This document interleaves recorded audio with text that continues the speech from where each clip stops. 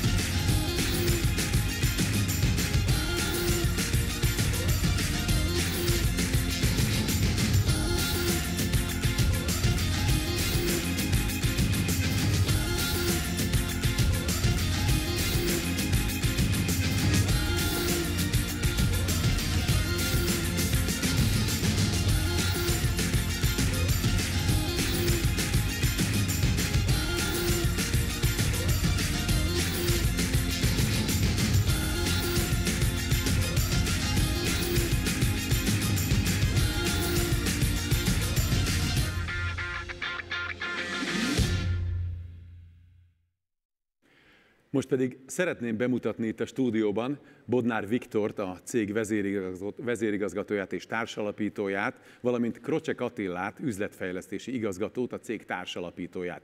Viktor, először téged kérdezlek, hogy hogyan érint benneteket, mint céget ez a mostani helyzet? Szerintem váratlan volt ez mindenkinek a világban, ami történt, és mindenkinek meg kellett tudnia lépni azokat a, a helyzeteket, hogy át kellett alakítani a cégeknek a működését. Belekényszerült mindenki ebbe a helyzetbe, és azoknak a cégeknek fog szerintem jobban működni a következő időszak, akik át tudták venni a most szükséges távoli munkavégzéses, home office rendszereket. Mi esetünkben inkább lehetőségeket látunk ebben, mint, mint kihívásokat. Egyébként azt hogy látod, hogy milyen változásokat fog hozni az majd hosszú távon, akár a ti cégetek életében? Érdekes szektoronként szerintem érdemes ezt megközelíteni. Látható, akiket a legkorábban érintettek a mostani negatív dolgok, ez utaztatás, ugye rendezvényszervezés, turisztika, stb. Ők olyan sok mentek keresztül, amiket, amit most már Európában és mindenhol, a világban mindenhol látni, hogy állami beavatkozással és adófizetői közreműködéssel tudnak tulajdonképpen ez, ezeken a hatásokon tompítani. Vannak olyan ö, szektorok, ahol inkább a szelekciót fogja ezt felgyorsítani, és inkább a saját szektorunkról beszélve, ugye, ami a pénzügyi digitalizációval, alternatív eszközökkel, aranyjal, technológiával foglalkozik, ez pedig inkább inkább lehetőség számunkra, mint ahogy említettem. Nagyon sok olyan változás most felgyorsul a következő hónapokban, ami, amire szerintem várt mindenki. Egyébként nálatok mindenki élvezi a home office, vagy ahogy magyarul mondják, a távmunka lehetőségét? Ezt hogyan látod?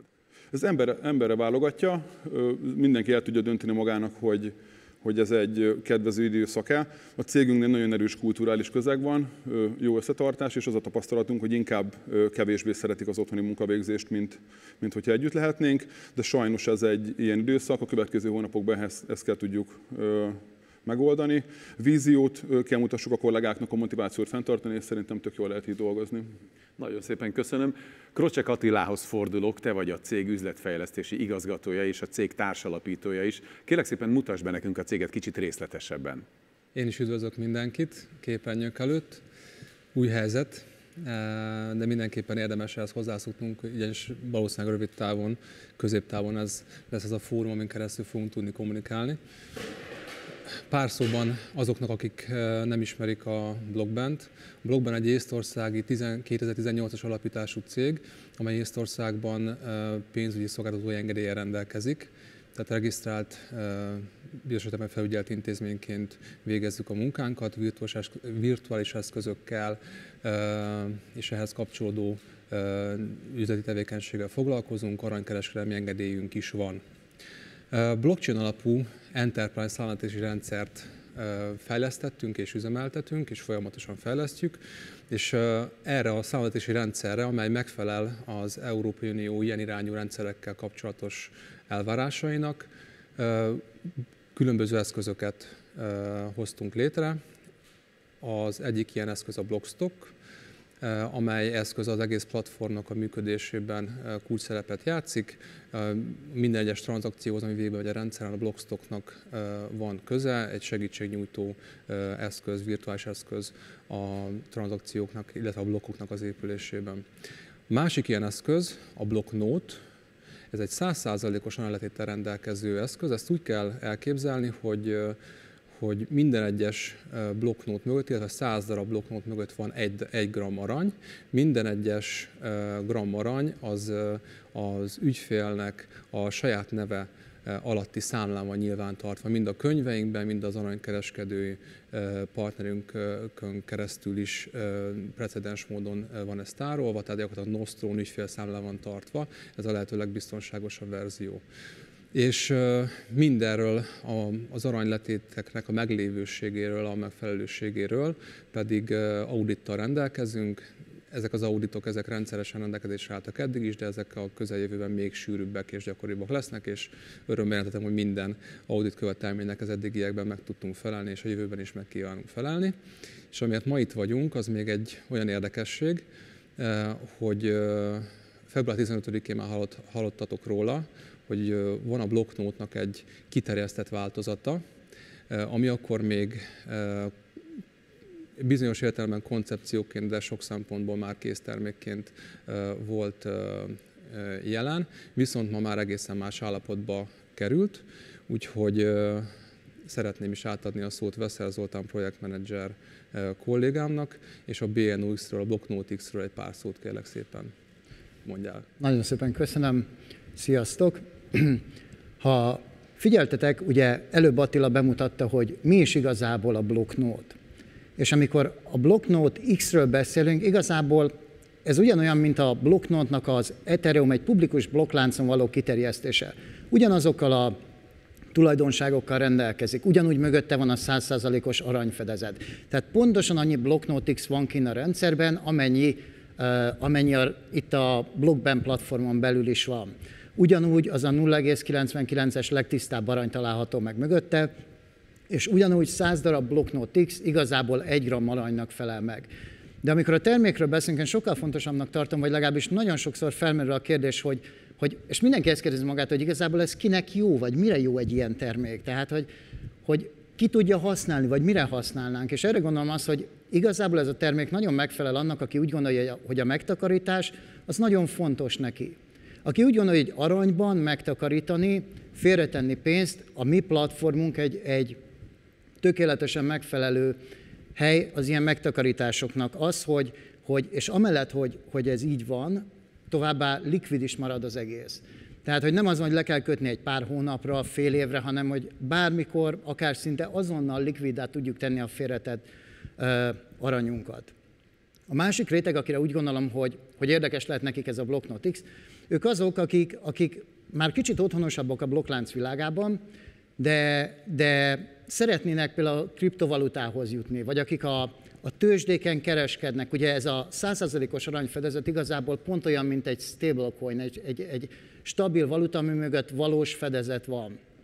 És, és ezáltal a kriptovalutában látható ilyen nagy mozgásokat ezáltal ki lehet kerülni. És ezen felül úgy gondolom, hogy a Blocknote X azáltal, hogy egy Ethereum publikus hálózaton van, nagyon sok új és érdekes lehetőséget tartalmaz a jövőben is nekünk. A másik kérdés, amit nagyon sokan meg szoktak kérdezni, hogy, hogy biztonságos ez a termék? Hogy, hogy mitől biztonságos? És én itt két dologra szeretnék kitérni, főleg technikailag. A Blocknote X egy nagyon híres auditor cég, a Kaspersky által lett auditálva, és ők megnézték a teljes programkódot. És igazából már az első audit után, és, és alig találtak olyan dolgot, amire azt mondták, hogy javasoljuk, hogy tehát egy nagyon biztonságosan lett felépítve. A másik dolog, amire úgy gondolom, hogy a Blocknotix egy iszonyatosan biztonságos termék, hogy nincsenek meg benne azok a gyengeségek, amik az Ethereum hálózaton megvannak. Itt most ez egy kicsit szakmai lesz, de fontos érteni, és, és nagyon sokan tudjátok. Tehát Ethereum hálózaton, ha utalunk, ott van egy nagyon hosszú számkód, szám-betű kombináció, kisbetű, nagybetű. Ha abban egyet elüt az ember, akkor az a pénz, amit elutaltunk, annak vége. Soha nem fogjuk visszakapni, soha nem jutunk hozzá, attól elbúcsúzunk. Ez a mi rendszerünkben soha nem tud megtörténni, erre majd mindjárt ki fogok térni részletesebben. A másik, hogyha elveszted a kódot, Ethereum hálózaton elveszted a kódjaidat, nem tudsz belépni, ott elvesztetted a vagyonodat. Itt nálunk ez nincs. Tehát még ha elveszed a kódodat is, akkor is teljesen biztonságban van. Egyébként mondtad, hogy az a pénz eltűnik. Hova tűnnek el ilyenkor pénzek? Vagy ennek aztán végképp nem lehet utána nyomozni, és mitől biztonságosabb a ti rendszeretek? Tehát a publikus blokklánc lényege, hogy igazából az egészet nyomon lehet követni, minden egyes utalás, hogy ebből a pénztárcából abba a pénztárcába került, ezt, ezt lehet tudni. De onnantól, hogy te elérsz valamit, és ez a pénz elment, onnantól te, miután ez a Ethereum hálózat pseudo-anonim, tehát félig anonim, tehát nem tudjuk, hogy kihez tartoznak a pénztárcák, ezért nem is, nem is tudod, hogy az igazából hol van. Mindig látni fogod, hogy az ott van, de már nem fogsz hozzáférni.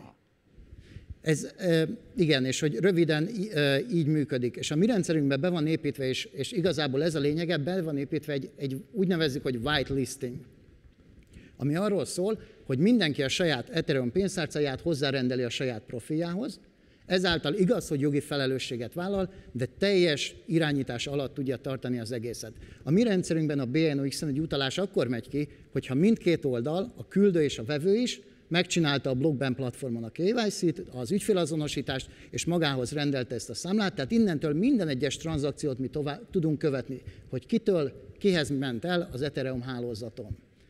És, és ennek úgy gondolom, hogy ott van iszonyatos jelentősége, és, és ez egy lehet, hogy erős állítás lesz, de én ebbe hiszek, hogy biztonságosabb az értékedet Blocknotix-en tartani az Ethereum hálózaton, mint az Ethereumot az Ethereum hálózaton. Uh-huh. Segíts nekem Attila egy picit ezt lefordítani, hogyha akik nem kifejezetten a szakmai nyelvben vannak otthon, hogy az ő számukra mit jelent ez? Talán úgy lehetne legegyszerűbben megfogalmazni, ez általában nem szokott az erősségem lenni, de most megpróbálkozok vele, hogy, hogy egy olyan, olyan keretet adunk egy publikus hálózaton, amivel gyakorlatilag megteremtjük a házasságot, megteremtjük azt a, azt a hidat, ami egyébként a blogbennek önmagának is küldetése, hogy a tradicionális, szabályozott pénzügyi világ és a kriptós, open, publikus blockchain-es világ közötti hidat megteremtse. Létrehozunk egy olyan terméket egy publikus blokkláncon, illetve létrehoztunk, amiben be szerepelnek olyan biztonsági elemek, amikkel sokkal-sokkal-sokkal nehezebb kompromitálni bárkinek a pénztárcáját, sokkal nehezebb ellopni bárkitől eszközöket, sokkal nehezebb csalni vagy pénzt mosni rajta, mint egyébként általánosságban a publikus blockchainen lévő virtuális eszközökkel meg lehet ezt tenni. Tehát gyakorlatilag egy, egy szabályozott keretet teszünk rá, egy általánosságban szabályozatlan világra, ezzel adunk olyan biztonsági elemeket, egyik oldalról ezáltal jogi biztonságot teremtünk e, egy technológiai biztonság mellé. Ezzel a kettővel együtt meg tud e, valósulni egy, egy holisztikus e, szemlélet, és gyakorlatilag összeér a kör, ezáltal a lehető legtöbbet tesszük, amit a mai piacon lehet. Legjobb tudomásunk szerint ilyen, ilyen biztonsági elemekkel tűzdelt Ethereum token nem létezik ma a világon, mint a miénk. Így van, így van, ez abszolút, abszolút így van. Ugye milyen érdekes, hogy most a világ figyelme egy csomó szempontból Ázsiára irányul, és Veszer Zoltán, te ázsiai piaci szakértő is vagy, ugye sokáig éltél Ázsiában. Hogy látod jelenleg az ázsiai piacokat? Tehát Ázsia mindenképpen egy meghatározó szereplője a világgazdaságnak. De amikor a technológiáról beszélünk, akkor nem csak azt mondom, hogy meghatározó, hanem egy nagyon domináns szereplője a jelenlegi világnak. Egy olyan, mint hogy a genetikailag úgy lennének kódolva, egy ilyen sokkal tekibb, egy ilyen geekebb, egy ilyen nyitott az mindenféle újításokra. És ahogy ezt, ezt angol szokták mondani, egy ilyen early adapter, tehát ilyen nagyon könnyen befogadják az új dolgokat. Erre egy nagyon jó példa például a Samsung telefon, hogy ők voltak az elsők, egy nagyon nagy márka. Ők voltak az első olyan telefon, akik létrehoztak egy ilyen kriptovaletet, ami benne van a rendszerükben. Uh-huh. És hogy ezt, ezt tökéletesen lehet használni. És pontosan ez, ez egy nagyon ilyen, ilyen érdekes álláspont, és pont azért ugye miután nyitottabbak, ezért az új dolgok, az új technológiai fejlesztések ott nagyon könnyen táptalajra lelnek. Ez nem azt jelenti persze, hogy mindenki használja őket, ez nem azt jelenti, hogy, hogy fiataloktól az idősekig mindenkinek ez, a, ez az élete, de miután egy, egy nagyon komoly populáció lakik azon a területén a világnak, ezért nagyon könnyen találnak egy ilyen követőbázist. És ugye a korábbi rendezvényeken én is beszéltem Ázsiáról elég sokat, meséltem arról, hogy nagyon komoly Kínának a mobil lefedettsége, 90-95 százalékos mobil lefedettsége van.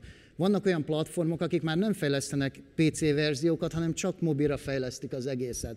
Mert egyszerűen nincs értelme más irányba menni. A mobiltelefonos költésbe messze-messze túl vannak az Egyesült Államokon a két nagy fizető platform, a WeChat Pay, Alipay, nem mesélek róluk, ezer millió funkció, QR kódos fizetés, minden ott van benne, repülőjegy vásárlás új lenyomat, gázvízszámla új lenyomat. Tehát egy nagyon fejlett világról beszélünk, és, és pont ide kapcsolódik ez a történet, hogy pont a minap felhívott az egyik ismerősöm, és Kínából, és mondta, hogy követem-e az online streaminget. És mondtam neki, hogy nem, miért tenném? Tehát, hogy mi történt? És mondja, hogy akkor, ha nem, akkor jobb, ha most elkezdem, mert most ott születnek a milliómosok és a milliárdosok. Hogy, hogy ez egy teljesen új trend lett most Ázsián, hogy online leülnek, és elmondják, hogy mi történik, terméket mutatnak be, mesélnek mindenféle dolgokról, de hogy online live. És igazából ez, ez, ez nagyon hasonló igazából, amit most mi csinálunk, egy ilyen nagyon modern dolog, de hogy ez most Ázsiában abszolút, abszolút egy ilyen új trend. Igen, egy kicsit hadd vegyem vissza még a szót, hogyha megengeditek. A BNOX-el kapcsolatosan még fontos elmondani, hogy még egy olyan újdonság is szerepel benne, egy olyan eleme is van, ami, ami szintén nagyon kevés, mondhatni szinte egyik virtuális eszköznek sincsen, az pedig az, hogy mivel a, a Blockben platformnak, a Blockben pénztárcának integrált része, ezért euró kapuval rendelkezik, tehát euró beutalásokat és euró kiutalásokat is lehet rajta végrehajtani, természetesen csak saját számláról, tehát nem pénzforgalmi jelleggel, de egy euró kaput ad egy olyan világban, ahol egyébként ez ritkaság.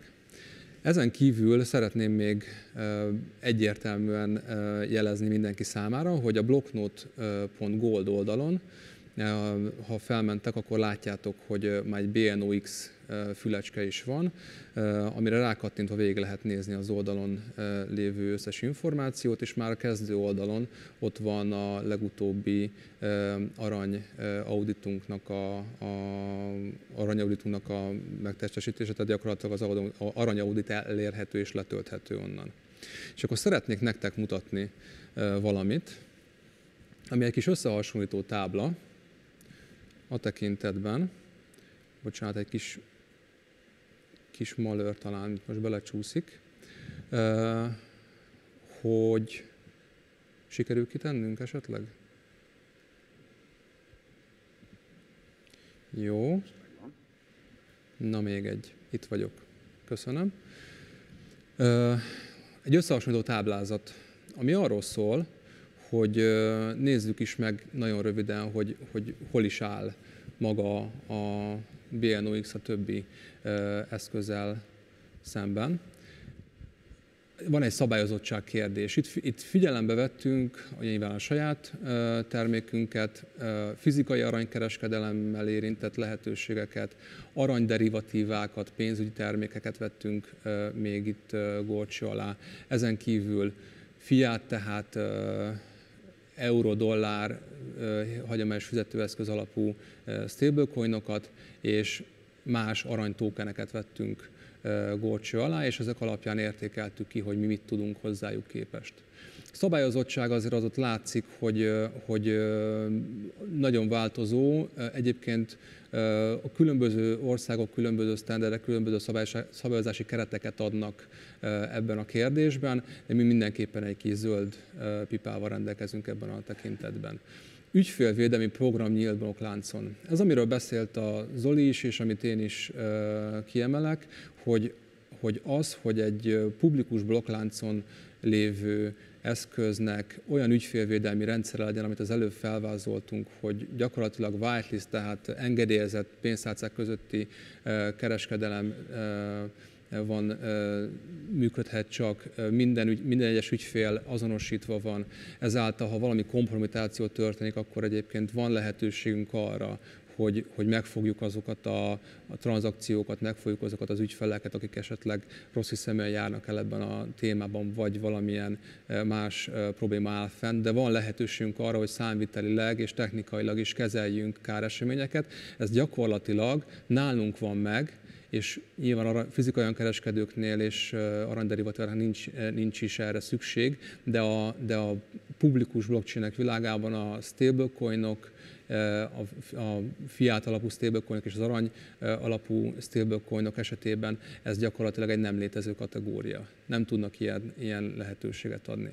Ezen kívül a dedikált arany ügyfélszámla, amiről még szeretnék beszélni, amit szintén nagyon, szintén egy nagyon fontos dolog, egy kicsit egy mondatban jogászkodva, ez egy nagyon jó ügyfélvédelmi eszköz, ugyanis ez nem ügyfél, vagy, vagy nem céges vagyonnak minősül az a, a Blocknote X, és amúgy a Blocknote mögötti arany sem, hanem ügyfél vagyonnak, ügyfélnosztron van tartva gyakorlatilag a teljes mögöttes aranyfedezet.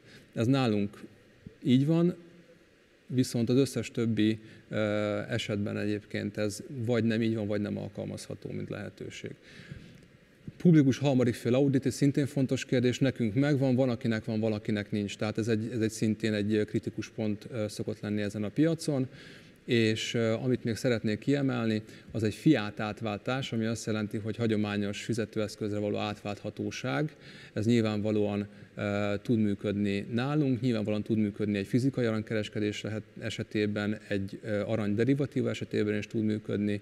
E, a fiát alapú, tehát hagyományos fizetőeszköz alapú stablecoinok esetében ez nagyon változó.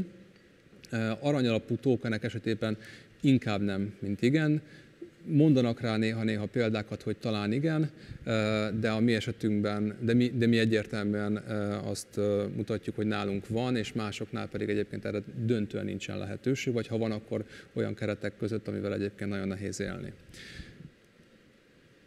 Egy kicsit szeretnék beszélni az aranyalapú tokenek piacáról, mert ugye mondta Zoli az előbb, hogy, hogy mégis kinek, minek és milyen piacra lehet ez, lehet jó ez a BNOX, de akkor szeretnék egy pár számot mondani.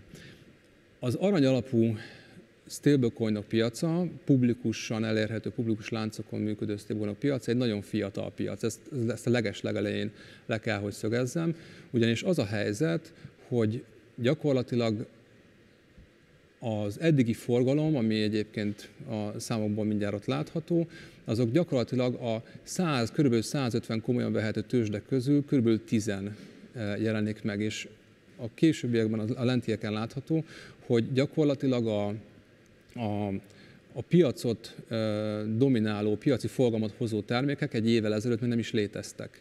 Borzasztó fiatal piac, borzasztó fiatal termékekkel, nagyon kicsi penetrációval, tehát nagyon kevés az a tőzsde, ahol ténylegesen jól, jól elérhető aranyalapú stablecoinok vannak. De látszik, hogy a számok alapján, ugye van egy, van egy 2,4 millió dolláros napi forgalom, 700 millió dolláros éves forgalom ebből a napi forgalomból projektálva, de az én meggyőződésem, hogy ez egy borzasztó dinamikus állapot, mert egy évvel ezelőtt egyébként jóval kevesebb volt, és hatalmas a, a dinamikája ennek a piacnak, és egy 50 millió dolláros piaci kapitalizáció. De még egyszer hangsúlyozom, a forgalom 80%-át adott termékek egy évvel ezelőtt nem is léteztek. És hangsúlyozom, hogy a 150 tőzsdéből körülbelül, nyilván több tőzsde van a világon, de mondjuk ha azt mondjuk, hogy kb. 150, amit lehet komolyan venni, abból gyakorlatilag egy, egy-két tucaton van egyáltalán jelen, de igazából körülbelül tíz tőzsde az, ami ezt a, ezt a, ezt a forgalmat adja, és egy borzasztó üres piac van, ahova most az elmúlt hónapokban és piacra kerülő arany termékek egyébként elkezdenek bemenni, köztük mi is, úgyhogy, úgyhogy egy jó nagy piacot lehet elkezdeni meghódítani. Ami még szintén érdekes a dinamikáról, nyilván ez a mostani piaci helyzet is közrejátszott, ugyanis azért az aranyról lehet tudni, hogy, hogy válsághelyzetben egészen jól szokott viselkedni, én inkább így fogalmazok, egészen jó a, a válságtűrő képessége, az infláció tűrő képessége is az eddigi történelmi adatok alapján. Úgy látszik, hogy ez most sincs másképp, és az elmúlt egy hónapban a legnagyobb piaci szereplő, aki most a piacon van, egyébként ők is szeptember-októberben indultak, ha jól emlékszem, tehát egy nagyon fiatal termékről van szó. Ők az elmúlt egy hónapban 60%-kal növelték a piaci kapitalizációjukat, tehát a, a, a kint lévő tokeneknek a piaci értékét. Tehát egy borzasztó, dinamikus ugrásváltozás van ezen a piacon nyomon követhető. Na és akkor nézzük, hogy, hogy akkor mi is az a, az a helyzet, ahol, ahol igazán van a BNOX. Következő dián.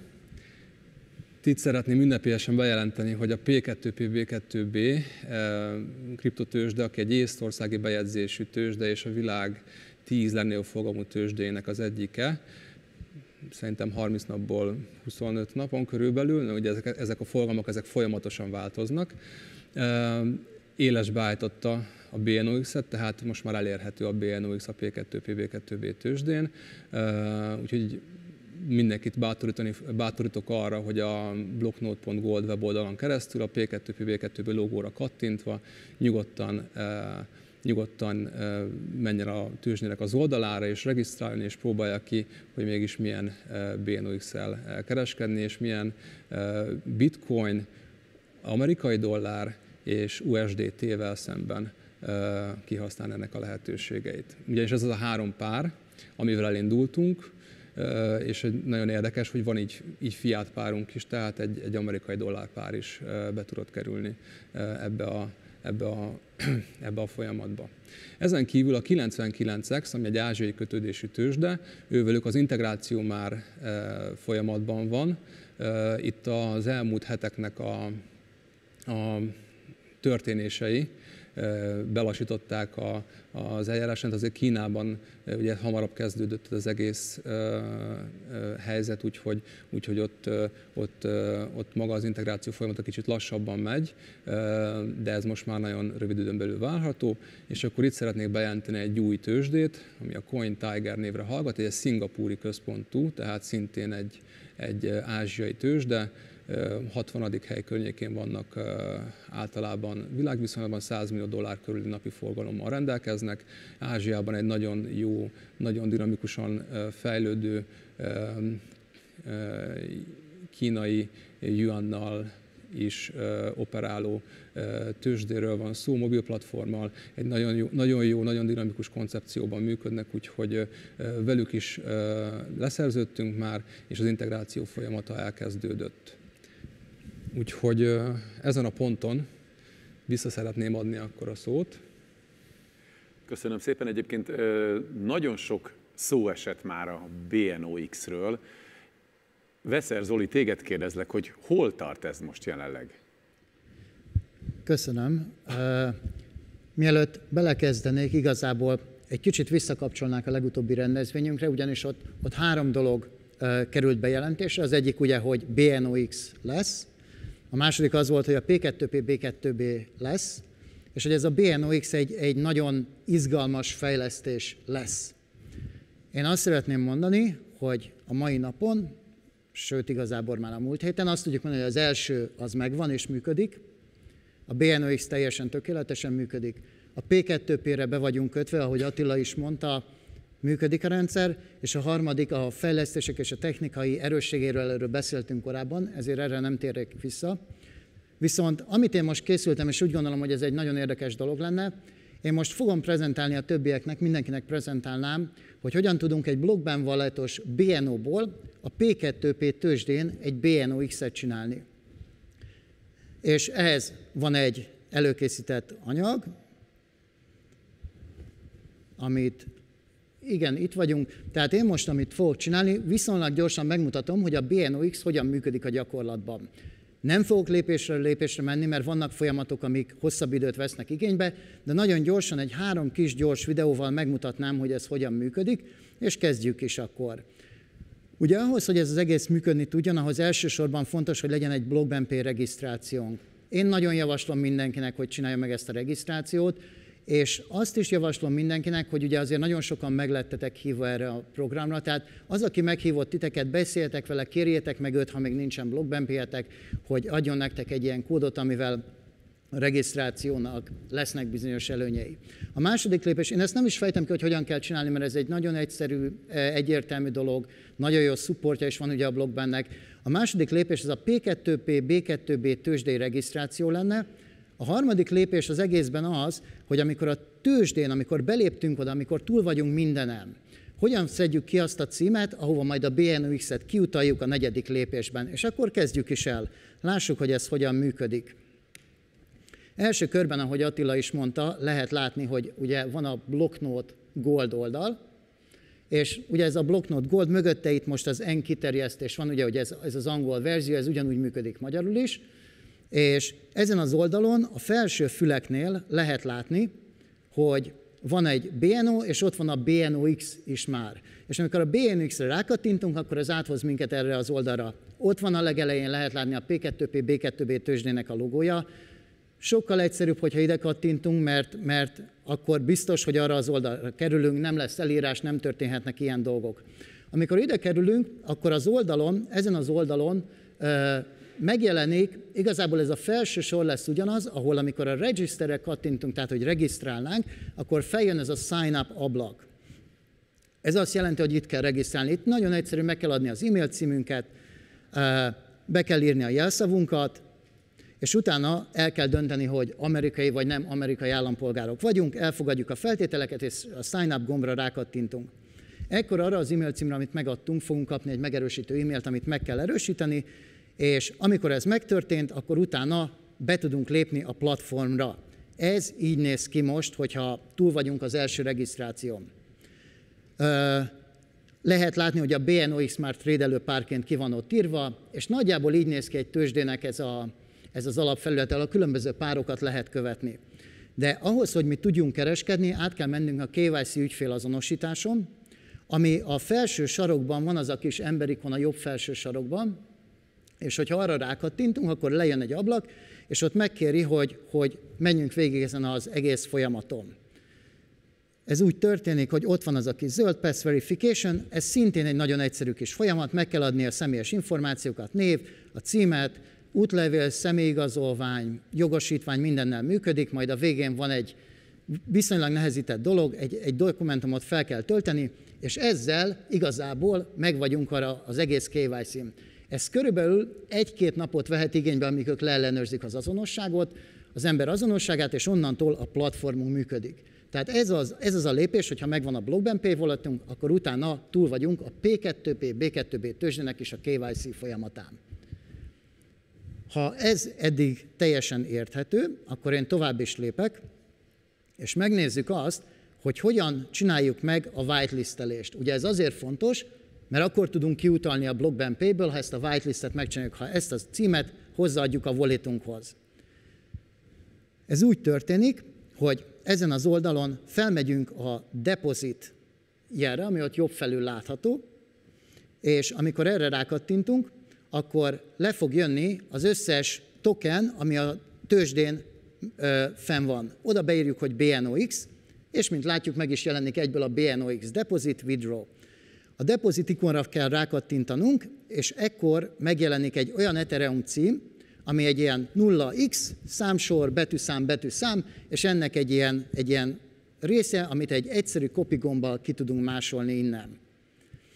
És igazából ez az a cím, amit hozzá kell adnunk a BlockBNP-en keresztül a saját ö, profilunkhoz.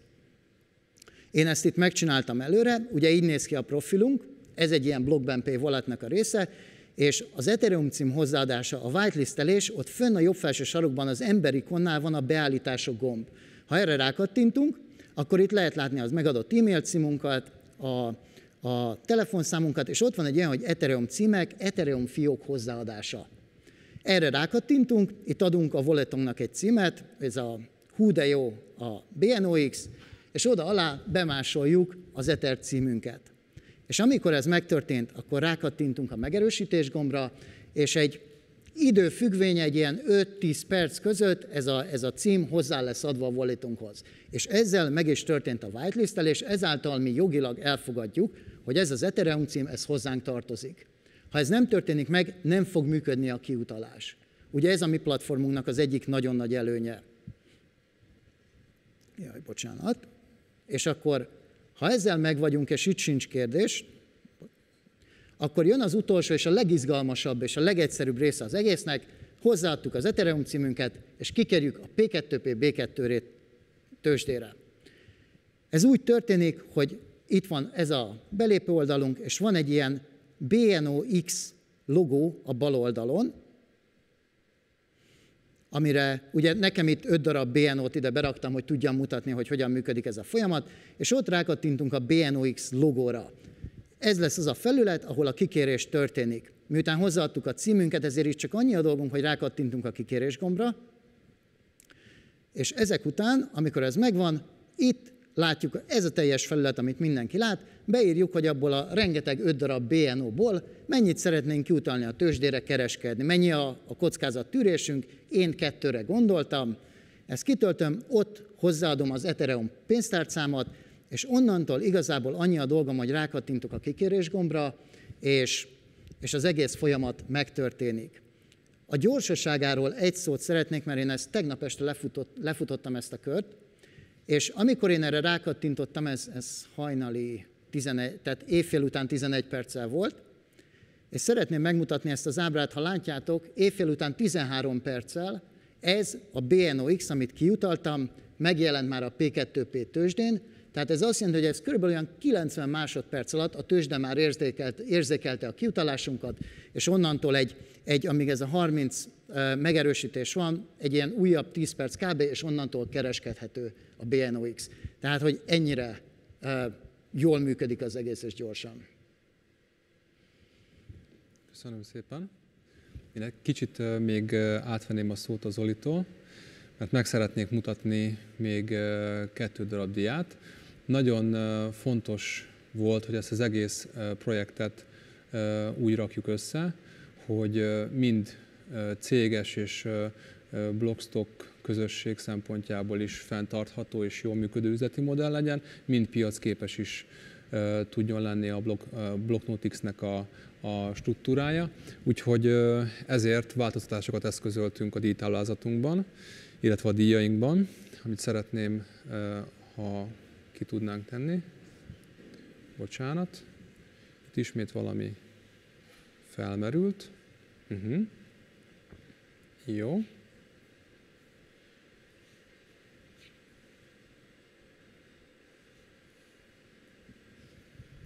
Nagyon jó, köszönöm szépen. Uh, nagyon keveset szeretnék erről a részéről beszélni, a másik díja az érdekesebb. Mostantól a befizetéseknek, kifizetéseknek a díjait is egyébként topapolni fogjuk, tehát a, a befizetések, kifizetésekért, mint ahogy tőlünk is a, a kiszolgálóink vonnak le díjakat, sajnos nekünk is le kell vonni ezeket a díjakat, viszont a blockstock vásárlások esetén ezek a díjak visszaírása kerülnek, tehát nem kerül pluszköltségbe annak, aki blockstockot vásárol, viszont aki blocknote-ot vagy blocknote X-et vásárol, az annak ezt a terheket viselnie kell. Ezek egyébként 10%-os díjeltérések, minden fent van amúgy a blocknote.gold oldalon. Ezen kívül, ami az érdekesebbik része, az az, hogy ha végignézzük ezt a három lehetőséget, ugye a legutolsó, a BSO Flow-ról már beszéltem, az azt jelenti, hogy gyakorlatilag, gyakorlatilag visszaírásra kerül minden, minden befizetést érintő díj, a blockstock vásárlás esetében, tehát nem lesz semmilyen sérelem a blockstock vásárlóknak.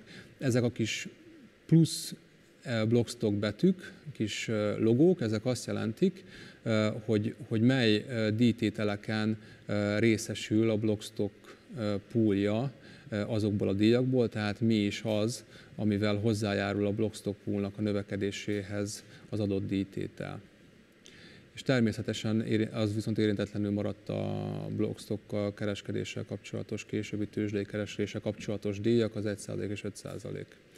Na, akkor menjünk a blokknótnak a flójára. Itt egy drasztikus változás ment végbe. Itt 2,2 plusz 0,8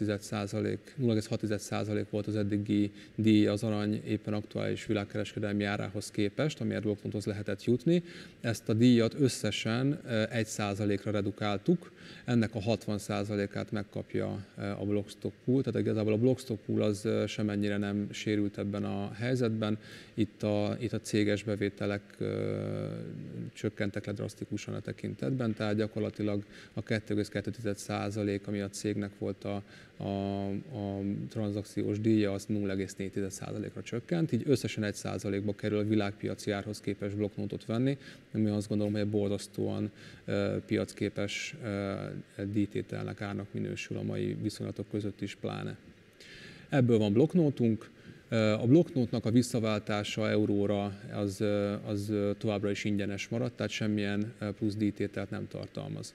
Na, hogy a blokknót ha blokknóttal a jövőben blokkben keresztül fizetünk, ott ugye a kereskedőnek van egy, egy, egy átlagosan 1,2%-os díja, ebből transfer díj az 1%, aminek a 60%-a a Blockstock pool, poolt gazdagítja, tehát a Blockstock poolba megy Amennyiben transferreállásra kerül a blokknót, az eddigi 1%-os belső transfer díjat a tizedére csökkentettük 0,7%-ra, így egy sokkal versenyképesebb állapotot előállítva, és ennek a 60%-át is a Blockstock Pool kapja meg. Hogyha tovább megyünk, az ha eddig nem lett volna teljesen egyértelmű, a, block, a BNOX az csak BNO-ból tud képződni. Tehát először BNO-ra van szükségünk ahhoz, hogy BNOX-ünk legyen, akkor viszont az történik, hogyha én BNOX-et, tehát publikus blokkláncra akarok kikérni BNO-t, akkor egy plusz fél százalékos díjat számítunk fel erre a tranzakcióra, aminek a 60 százaléka szintén a Blockstock Pool-t gyarapítja. Ha tovább megyünk, akkor ezzel a BNOX-el két dolog történhet, vagy tőzsdei kereskedelem történik, erre nincs rá hatásunk ilyen szempontból, mert minden tőzsde a saját rendszerét futtatja, úgyhogy ott mindig azok a díjak, amik azokon belül történnek, azok nem a mi hatáskörünkbe tartoznak. Viszont, hogyha az Ethereum hálózatán történik BNOX, BNOX transfer, tehát két Ethereum pénztárca között történik BNOX transfer, akkor egy 1,1%-os transfer feed felszámítunk, plusz az Ethereum hálózatnak is van egy, egy, egy kis transfer díja, aminek egyébként a 0,7%-a 60%-a szintén a Blockstock Pool-t tölti. Ha visszafele nézzük a folyamatot, akkor azok, akik publikus Ethereum hálózatról, akár tőzsdén vásárolva szeretnék visszahozni a BlockNote-üket, a BNOX-üket a rendszerünkbe, és szeretnék a BlockBNP walletbe megjeleníteni, illetve blokknótot csinálni belőle adott esetben későbbiekben eurót, akkor ennek a transfernek van egy másfél százalékos díja, amiből 1% egy compliance fee, amit külön számolunk fel, és fél százalék a transfer díj, és a fél százaléknak a 60 százaléka is szintén a Blockstock Pool-t gyarapítja. És így kerül vissza a walletba BNO formájában a digitális aranyeszköz. Úgyhogy gyakorlatilag, hogyha végignézzük ezt az egész folyamatot, akkor egy, akkor egy, egy piacképes üzleti modellel, egy nagyon szép jogi és technológiai biztonsággal is megtámogatott komplet rendszert hoztunk létre, és most már élesben is elérhető. Úgyhogy én köszönöm ezt a kis topikot. Nagyon köszönöm. A stúdióban ismét Bodnár Viktor, a cég vezérigazgatója és társalapítója. Viktor, ismerve a jelenleg futó fejlesztéseket, valamint a BNOX megszületését, szerinted hogyan tovább most? Prioritásokkal kell szerintem foglalkozzunk. Ugye többször, többször mondtam azt, hogy az egyik legnagyobb erőforrásunk és legnagyobb keresztünk is az informatikai kapacitásunk. És nagyon figyelnünk kell arra, hogy a fejlesztéseken ne lőjünk mellé, és tényleg olyan dolgot hozzunk csak létre, hogy azzal foglalkozunk, amire úgy gondoljuk, hogy piaci alapon is szükség lesz. Így a BNOX-szel való munkát azt folytatjuk, tehát a több tőzsdére való bevezetése, tehát látjuk itt a mostani tőzsdék kapcsán is, hogy nagy érdeklődés van rá, egy nagyon jó termék, ahogy Attila is elmondta, nagyon sok ö, egyedi, ö, egyedi dologgal, nagyon sokat remélünk tőle. A BlockBNP kapcsán az online fizetést előre fogjuk hozni, tehát előtérbe kerül. Ugye eddig a fejlesztéseknek a döntő része az a backend, tehát a háttérfejlesztések voltak, és a, a fizikai boltban való fizetésre koncentráltunk, de a kialakult helyzetet figyelembe véve sajnos úgy véljük, hogy a következő hónapokban boltban való fizetéseknek a darabszáma az drasztikusan lecsökkent, vagy lecsökken, viszont nagyon nagy igényt támasztanak velünk szembe az online kereskedők, tehát ezt, ezt előre hozzuk valamint a, próbálunk nem csak a BNOX-ra, hanem a blokknótra magára is fókuszálni. Tehát továbbra is nagyon nagy lehetőséget látunk az aranyban, a digitalizált formában lévő aranyban és a könnyen elérhető, applikáción könnyen elérhető aranytermékekben. Egyébként ezeknek fényében a ti prioritásaitok mennyiben fognak változni? A...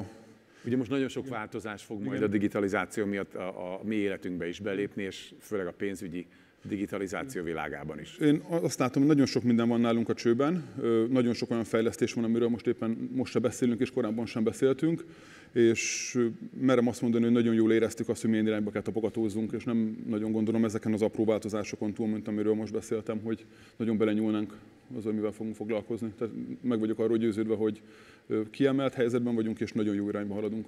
Egyébként nagyon jó ezt hallani, de hogy folytassuk tovább ezt a beszélgetést, most egy olyan panelbeszélgetés következik, amelynek szeretném két további résztvevőjét is bemutatni.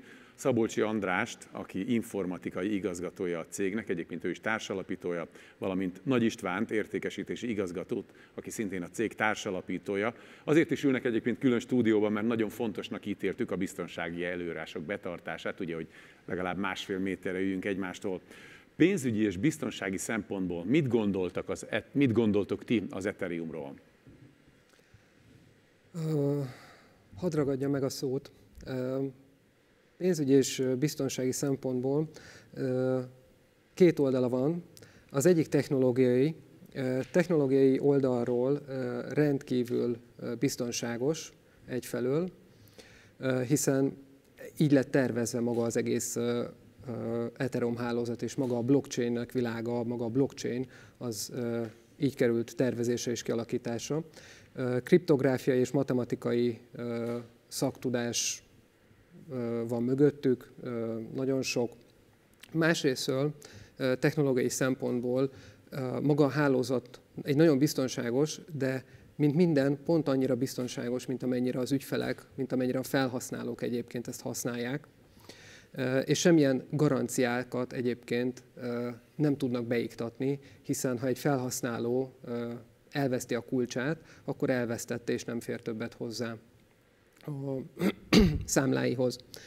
Pénzügyi szempontból viszont egy picit tekintsünk ki, és nézzük meg, hogy hányszor hallottunk olyat, hogy valaki adott esetben elvesztette a kulcsait, és már nem fért hozzá, és engedélyek és szabályzók hiányában az Ethereum láncon már többet tényleg senki nem tudott hozzáférni azokhoz a számlákhoz és azokhoz a pénzekhez. Hát rendkívül sokszor lehet ilyenről hallani. Azaz pénzügyi szempontból is a biztonság szintén csak a felhasználókon múlik. Tehát egyrésztről nagyon biztonságos maga az Ethereum, másik oldalról viszont sajnos, mint technológiai, mint jogi vagy jogi, hát inkább pénzügyi biztonság tekintetében az ügyfelek teljesen magukra vannak utalva. Mitől olyan különleges a BNOX? Ú, ö, cégünk filozófiája, hogy hidat képezzünk a klasszikus pénzügyi világ és a kriptós világ közé. Ugye a kriptós világ, pont az előbb, amit beszéltünk, hogy egy nagyon biztonságos környezetet teremt meg technológiai oldalról, viszont maga a, a klasszikus pénzügyben lévő jogbiztonság és tényleg a, a pénzemnek a biztonságáról már kevesebbet tud átadni. És a cégünk filozófiája, ugye, hogy ezt a kettőt ötvözzük, és maga a Blocknote X ezen a területen egy nagyon, én úgy érzem, hogy nagyon korszakalkotó és egyedülálló, hiszen nem csak a technológiai garanciákat tudjuk Ethereumon ugye megadni, hanem a cég az engedélyeken keresztül és a nagyon egyedi smart kontrakton keresztül, amit fejlesztettünk, teljes jogbiztonságot képes nyújtani az Ethereum blokkláncon Blocknotix esetében. Ugye itt Zoli kollégám már mesélt egy picit erről, hogy a Blocknotix, illetve az Ethereum számlákat hozzá kell kapcsolni az ügyfél port, profilokhoz, és ezen keresztül lehet kikérni Blocknotix-et a walletünkből. Viszont van még egy nagyon fontos funkció, amit szeretnék kiemelni, hogy mi saját magunk a saját walletünkben ezeket az Ethereum címeket, amiken egyébként a Blocknotix-et forgalmazzuk, mi saját magunk is képesek vagyunk felfüggeszteni. Ezáltal, ha én nagyon sok Blocknotix-et forgalmazok Ethereumon, vagy tárolok, akkor képes vagyok én saját magam úgy lezárni azt az Ethereum címet, azt a számlát, hogy senki más ne férjen hozzá, még én sem, még akkor is, hogyha az én kulcsaimat egyébként mondjuk valaki illetéktelen megszerzi. Sőt, tovább megyek, ha mégis valamilyen módon illetéktelen kezébe kerülnek, vagy kompromitálódnak egyébként az Ethereumon a kulcsaim, és nem függesztettem én fel a számlámat, és valamilyen kompromitálódás történik, akkor ugye Ethereumon igazániból nincs senki, aki tudna nekünk segíteni. Blocknotix esetében mi, mint blogben képesek vagyunk egyébként ezen segíteni, és az ügyfelenknek a vagyonját biztonságban tudni. Mi a helyzet a cég értékesítési stratégiájával? Terveztek-e valamilyen változásokat, vagy változtatásokat? Igazából ugye Viktor már beszélt arról, hogy ugye olyan változásokat mindenképpen eszközölnünk kellett, ami a fizikális megjelenésünket kicsit visszaveszi, és a digitális megjelenésünkre kell jobban szorítkozni. Ezt természetesen most értem itt a Blockben Pay kapcsán hiszen stratégiánkban az első lépése az az volt, hogy a saját ügyfélkörünkből igyekeztük megszólítani azokat az elérhető közelségben lévő fizikális értékesítési helyeket, jobban szólva elfogadó helyeket, ahol majd a blokknotot el fogják fogadni, illetőleg lehet majd QR kóddal fizetni. Ezt ugye megtámogattuk, több kampányunk futott, készültek róla videók, amiket ugye mindenkinek ajánlom már csak a humor miatt is, hogy nézzék meg őket a YouTube-on és most ugye kénytelenek voltunk egy gyors váltást csinálni, úgyhogy most előtérbe került az, hogy szeretnénk, hogyha az internetes webáruházak gyorsabban ellenének kérve, tehát meg kellett cserélni a stratégiát. Ugye a Blocknote kapcsán, meg a, a Blockstock kapcsán effektív nagy változásokat nem tervezünk, de bejött egy érdekes elem itt is a, a, a, a, a szerepünk közé, méghozzá az, hogy ugye kikerült a BNOX a tőzsdére, Na most a tőzsdék ugye értes, értesítik a saját ügyfeléket arról, hogy ugye lehet ezt a BNOX-et elérni, és nyilvánvalóan a, a, a támogatás, amit ugye ezek az értesítések küldenek, annak a, a kriptos közegnek, akiknek amúgy is ugye ez a fő profiljuk, azt gondolom, hogy ez egy, egy, egy elég jó csatorna nekünk. Hm. És azt szerinted miért jó, ha igen? Egy, hadd mondjak ehhez még egy, egy gondolatot, és akkor itt, ha ha úgy, úgy érzi mindenki, akkor akár fel is hívok erre mindenkit, mint üzleti lehetőséget, hogy ha valaki a Blockbank walletből BNOX-et kiexportál, berakja egy tőzsdére, ez gyakorlatilag egy magasabb díjon teszi ki, vagy teheti ki, mint amin ő vásárolta. Tehát gyakorlatilag egy üzleti tevékenységet is tud ezzel folytatni. Úgyhogy a nap végén el tud jutni abba az állapotba, hogy a, hogy, hogyha valaki ezzel aktívan akar foglalkozni, akár egy, egy, egy komolynak vehető jövedelemforrás is származhat belőle, tehát mindenkit kapacitálok arra, akinek megvan ehhez a, a kellő tudás és ismerete, hogy, hogy, hogy kezdje el a, a, a BNOX-et tőzsdékre, tőzs most jelenleg a P2P, B2B-re kitenni, és igazából ugye ott ajánlati árak vannak, szab ön meg neki olyan ajánlati árat, amit úgy gondolja, hogy piacképes, aztán pedig a piac majd el fogja dönteni, de mindenképpen jó lehetőséget nyújt ez közép-hosszú távon egy saját jövedelemszerzésre is akár. Egyébként ma már szó volt arról, hogy az euróval is érdemes akár gondolkodnunk, de miért jó az, hogyha valaki az euróját leváltja bármelyik terméketekre? Hát itt ugye megint hagy ragadjam magamhoz a szót, én itt ketté bontanám, hogy melyik termékünkre váltja le az euróját. Talán kezdjük először a BNO-XL és a BNO-val, ami ugye mindkettő tulajdonképpen digitalizált arany, így is nevezhetnénk. Én azt gondolom, hogy ha az ember szétnéz mostanság, hogy mi zajlik a, a környezetében, akkor ugye láthatja azt, hogy az arany hogy szokott viselkedni válságok idején. És azt, azt gondolom, és, és ez is a véleményem, hogy szerintem ezt nem kell túlmagyarázni, hiszen az arany az nem szereti az inflációt, az arany az nem érdeklődik a válságok után, ő ennek általában a nyertese. Én azt gondolom, hogy, hogy erről ennyi elég. A, a stock termékünk kapcsán, tehát a Blockstock termékünk kapcsán meg, meg inkább úgy gondolnám ezt a dolgot átfogalmazni, hogy nem az a kérdés, hogy miért vegyem valaki Blockstockot, hanem hogy miért ne venne valaki Blockstockot. Tehát itt vagyunk két éve a piacon, akik a kezdetektől fogva velünk voltak, azok látták, hogy mekkora munka ment ebbe bele. Akik azóta csatlakoztak hozzánk és vásároltak ebből a termékből, azok pedig a munkának az eredményét látják, és azt gondolom, hogy ezt érzik, vagy érezniük kell, hogy ez a termék egy jó termék. Igaz, hogy magasabb kockázattal rendelkezik és spekulatív termék, attól függetlenül azt gondolom, hogy döntően nem nagyon tudnék érvet mondani azzal ellen, hogy miért ne vegyen valaki ilyen terméket, inkább csak azt tudnám erősíteni, hogy miért vegyen. Nagyon köszönöm. Egyébként közeledve a beszélgetésünk végéhez, mit gondoltok, hogy milyen változások lesznek a világban, amik a koronavírus hatására fognak majd bekövetkezni? Kezdeném.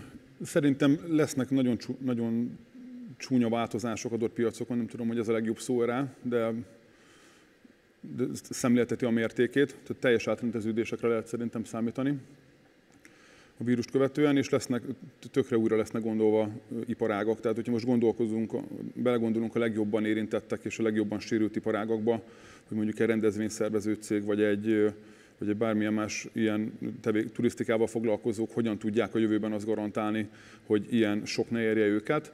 Ez egy nagyon nehéz kérdés, és érdemes ugye azoknak a cégeknek, mint mi is azokra, arra koncentrálni, hogy ebben milyen piaci lehetőség van inkább, amivel mi most történik körülöttünk. Abszolút. Én azt gondolom, hogy hogy ez a mostani megváltozott piaci környezet, ez egyértelműen abban az irányba mutat, hogy a gazdaságnak, a gazdaság legtöbb elemének, legtöbb szereplőjének a digitalizáció irányába kell el, elmenni, elhaladni. Ezt a gondolatot a pénzügyi digitalizációra fokozottan érdemes használni szerintem, mert a, a pénzügyeinknek, a, az eszközeink nyilvántartásának a digitalizálása az egy régóta tartó folyamat, de a, ha, ha, vég, ha visszanézünk a különböző piaci nagy történésekre, akkor mindig egy-egy nagy helyzet, egy, egy nagy sok, egy, egy, egy nagy muszáj helyzet váltotta ki azt, hogy na akkor mégis átlendül a piac azokon a pontokon, ami felé halad, halad, halad, de a sebessége e, talán nem mindenhol megfelelő. Most itt a régiónkban, vagy az Európai Unióban nézve, én azt gondolom, hogy volt sok haladás az elmúlt időszakban a pénzügyek, és egyébként úgy általában a, a, a az adattárolásnak és a, és a, és a pénzfogalomnak a digitalizációja tekintetében, de ez a mostani helyzet, ez egy borzasztó nagy robbanást fog végrehajtani a piacon, ugyanis ha már ha, ha csak az ember a híreket olvassa már, akkor arról beszélnek egy bankok, hogy, hogy na mostantól aztán tényleg bele kell tolni a, a pénzügyi piacokat, a bankrendszert és minden ehhez kapcsolódó iparágat bele kell tolni a teljes digitalizációba és a, és a tényleg user-friendly megoldásokba, ügyfélbarát megoldásokba, és az a jó hír, hogy a mi gyakorlatilag évek óta fejlesztett platformunk, ami még egyszer mondom, nagyon nagy figyelemmel, nagyon nagy szakértelemmel, rengeteg sok tízezer, százezer munkaórával fejlesztett olyan pénzügyi számvezető rendszer blockchain alapokon, ami az Európai Unió pénzügyi számlatú rendszerekre vonatkozó előírásainak teljes mértékben megfelel. Ez egy olyan lehetőség, amin keresztül, amin keresztül biztos vagyok benne, hogy, hogy, hogy, hogy nekünk mi jobban fogunk kijönni ebből a helyzetből, mint ahogy, be, mint ahogy belekerültünk, és ebből fogunk tudni élni ezzel a helyzettel. Mhm. Hát, hogy még én is hozzászóljak egy szót, ugye rengeteg olyan cég van, ahogy itt már többen mondták, aki valószínűleg megszűnik legegyszerűbben talán úgy lehet összegezni, hogy amikor egy kártyajátékba újra keverik a paklit, és azt nem szabad elfelejteni, hogy ugye azok, akik 2000-ben születtek, és most 20 évesek, azok már úgy jöttek világra, hogy nagy szélességű internet volt náluk, és ugye az a generáció, amelyik most felnövekszik, az abszolút csak digitális módon gondolkodik, tehát valószínűsíthető, hogy egy jó darabig még ugye az én generációmnak megmarad a hagyományos értékesítési modell, azért lássuk be, hogy most már interneten keresztül rendelünk mindent, és ebben is a leginkább a telefon az, ami segítségünkre van. Épp itt az ideje, hogy a fizetés is a telefonra kerüljön, és ezt ugye valószínűleg minden kormányzat támogatni fogja az Európai Unióban, sőt, hát előírás is, úgyhogy remélhetőleg ez záros határidőn belül így is lesz. Informatikai szempontból mit jelent a jelenlegi helyzet, vagy milyen változások állnak majd be? Hát nálunk leginkább talán mindig azt szokták mondani, hogy az, informatiká, az informatikában a legegyszerűbb ugye ez a távolról való munkavégzés. Sajnos azt kell, hogy mondjam, hogy egy magas hozzáadott értéket előállító csapatnál sajnos inkább hátrány a távmunka, illetve az otthoni munkavégzés, és főleg az, hogy a csapattagok ennyire távol vannak egymástól, mert a csapatban mindenkinek megvan a saját maga szakterülete. Hiába ért mindenki picit mindenhez, de Isten igazándiból az adott szakterületeknek a mélységeit, azokat csak szakemberek látják mégiscsak a legjobban, és azáltal, hogy te egymástól távol vagyunk, így eléggé megnehezítés. és valószínűleg a jövőben egyébként a, ez a helyzet ezt sokkal jobban ki fogja kényszeríteni, hogy valahogy az informatikusok a, a nagyon magas hozzáadott értéket képviselő szoftverek fejlesztése, fejlesztéséhez sokkal jobban valami átalakuljon, egy ilyen távoli munkavégzést jobban kiszolgálni képes metodológia.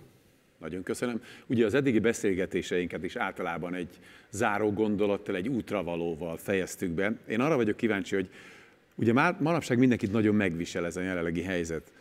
Ti hogyan próbáljátok ezt átvészelni, és mi az, amit akár saját magatoknak, vagy a körülöttetek lévő kollégáknak, családtagoknak útravalónak tudnátok mondani a mai helyzetben? Záró körkérdésként. Mindenkinek egy, egy érdekes helyzetet hoz az életébe, mind a munkájában, mind a magánéletében. Ez egy komfortzónán kívüli helyzet. Az élet úgy adta, hogy ehhez alkalmazkodnunk kell. Az emberiség úgy tudott mindig túlélni, hogy alkalmazkodott a körülményekhez, ezt szerintem mindenkinek egyénenként meg kell tennie. Kérek mindenkit, hogy maradjon otthon, én is a lehető legtöbbet ezt teszem Azen kívül csak a munkával kapcsolatos dolgokkal eh, exponálom magamat, úgyhogy maradjunk otthon. Ezt mondom. Annyit fűz, egyetértek teljesen Attilának a gondolataival. A mi esetünkben azért ez kicsivel másabb szerintem, mint a legtöbb cég esetében, mert nekünk nem az, hogy csökkent a munkánk szerintem, hanem inkább felgyorsult és több, több dologgal kell foglalkozzunk és hogy a műsor elején is említettem, hogy egyre többet foglalkozunk mi is a motiváció fenntartásával a kollégák esetében úgy, hogy remote lokációban van mindenki. Ez, ennek azért megvannak a nehézségei, lássuk be, de úgy gondolom, hogy jó úton vagyunk, és ugye a magánéletét persze mindenki úgy tudja kezelni, ahogy ez egy új helyzet, de szerintem szépen túl fogja mindenki élni. Nagyon köszönöm. Köszönöm. Én gyakorlatilag én is csatlakozok ahhoz, akik azt mondják, hogy maradjanak otthon. Az a helyzet, hogy több orvos is van a közelünkben, aki miatt azt gondolom most egy kicsit aggódunk, de az otthoni munkavégzésre meg én nem nagyon tudok rosszat mondani eddig, mert én, az én életemből ez, ez ugye eddig kimaradt. Egy érdekes helyzetet teremtett nálunk, de olyan is volt már, hogy este a tablet előtt mindenkinek meg van nyitva a kis tabletje, és így tartjuk egymással a kapcsolatot, hogy elkerüljük a személyes érintkezést. Én azt gondolom, hogy útravalónak annyit mondanék mindenkinek, hogy vigyázzanak magukra, és hajrá! Én is csak csatlakozni tudok hozzátok, mert mindent elmondtatok, amit, amit csak lehetett, és ami az én fejemben is volt. Úgyhogy köszönöm. Nagyon szépen köszönjük a figyelmet. Kövessétek a blogbent, tehát a közösségi médiában, és mindenkinek további nagyon szép estét kívánunk.